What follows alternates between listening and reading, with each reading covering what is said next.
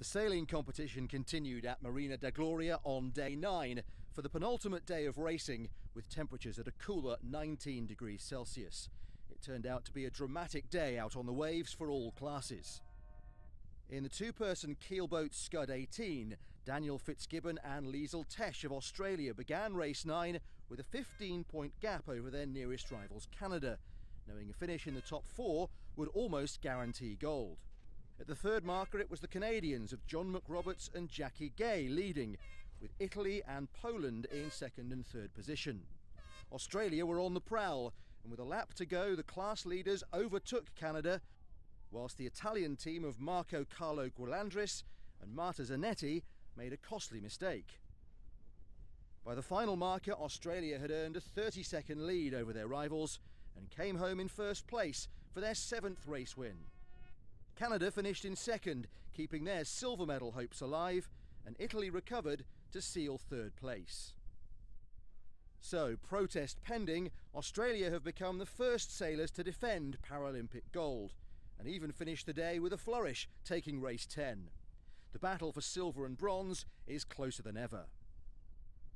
Before race 9, it was Australia leading from the US and Canada in the three person keelboat sonar standings, and after a tightly contested start, Greece took the advantage, reaching the third marker in front. The German crew of Klotzing, Kröker and Meinke were in second position, and Norway, who started the day fourth in the standings, were in third.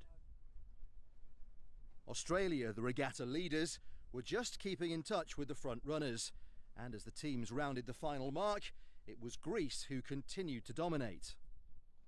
Germany remained in second, and the Aussies, who were starting to move swiftly up the order, were now in third for the final leg of the race.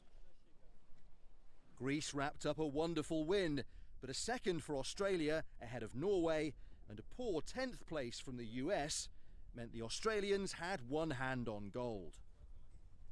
In race 10, the Australian trio won an incredibly tight race, pipping Canada at the finish. Gold will surely be confirmed as theirs. In race 10 of the one person keelboat, leader Matthew Bugg of Australia was under serious pressure after a terrible 14th place in race 9. Bugg and Great Britain's Helena Lucas have been going toe to toe for the gold medal. The pressure was on. At the first mark, it was Germany's Heiko Kröger leading, though, followed by Spain's Arturo Montes Vorsi and Australia's Bugg. Germany's lead didn't last long. They were forced to take a penalty, and it was Bugg of Australia who led at the final mark, ahead of France's Damien Seguin. Seguin was just ahead of Britain's Helena Lucas, the Frenchman still a contender for medals. So Matthew Bugg crossed the line first ahead of Seguin for France. Germany's Heiko Kröger fought back to a well earned third place. Britain's Lucas slipped back to finish sixth. There was more drama post race as Bugg came ashore with a four point lead over Lucas, only to be disqualified from race 10, demoting him to third in the standings and promoting Great Britain's Helena Lucas to the top spot. With one race left to go, who will win gold is anyone's guess.